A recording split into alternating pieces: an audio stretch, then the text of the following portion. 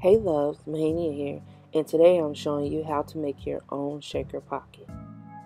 So I have a video up already on how to get images from Pinterest. So I'll leave the link for that video so you can see how I got these images. I'm going to be using the picture in the bottom right hand corner.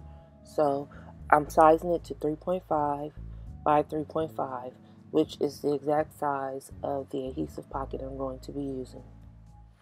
So just size your picture accordingly. Then you want to print the image. And if you watch my Pinterest video, you will see why I have so many images on this page, even though I'm not using them to make shaker pockets. So after you've printed your image, then you have your sheet of paper. I'm going to shade my image in to match my skin tone and hair color. So I'm using my Copic markers. You're going to need an adhesive runner or some type of clear adhesive or glue. You will also need an adhesive pocket. I have a DIY adhesive pocket video I will link below as well. You will need a pair of scissors and the glitters of your choice. So I'm going to begin by shading my picture in.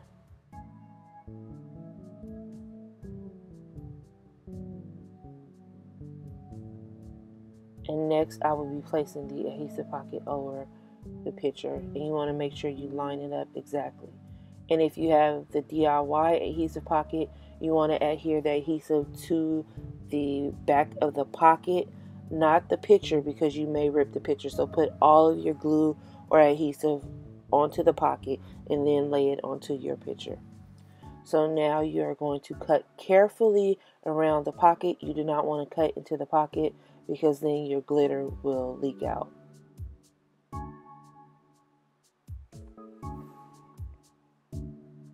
So once you get your picture all cut out, then you can take the glitter of your choice. I have three different glitter containers here, and they are from the Recollections brand. I purchased them at Michael's, and each of these containers have six different glitters in them. So I'm going to be using a copper color as well as two different pink shades. I just want to use the copper because it has like a fall kind of feel to it and then the pinks bring out the pinks in the background of this picture. So I will make other shaker pockets and post them on my Instagram just so you can get an idea of different pockets that you can make.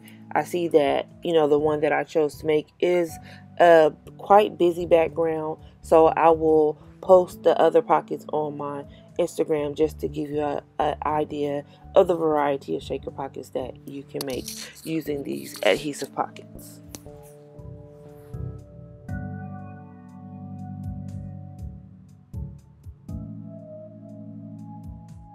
Once you get your desired amount of glitter in the pocket, then you want to just shake it around and make sure you like the combination of colors and just to make sure that you have the right amount of glitter in your pocket. I only chose to put the glitter towards the bottom and only put a little bit of glitter because I want to be able to see the full artwork that is in the picture.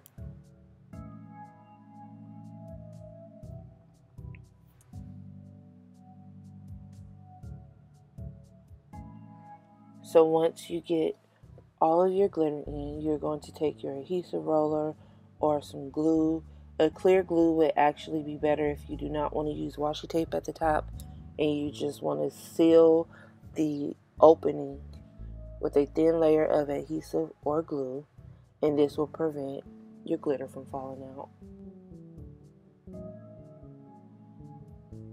And because I wasn't able to seal all the way across the opening, I will be using washi tape to tape off the top and I'm just using a piece of foiled copper colored washi tape that I got at um, Michael's. And so I'm going to place that at the top, trim it down, and fold it over the back side.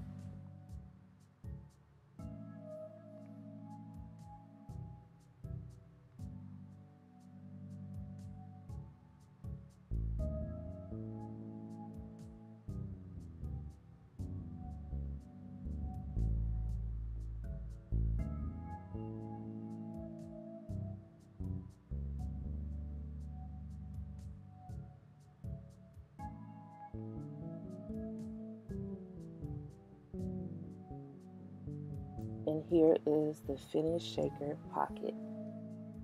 It is absolutely beautiful and super easy to make. And you can definitely make this with your scrapbook paper. Like I said, just check out my Instagram and I will have those pictures up. And I'm going to show you what it looks like with the color combination that I have going on in my personal planner. If you want to place this in your personal planner, then you want to fold it about a quarter inch away from the edge and then you can just slide it down into the front pocket. However, I'm going to be putting this inside my A5. So this is what it looks like if you just want to clip it to your A5 with the paper clip. And this is what it looks like inserted in. So thank you so much for watching.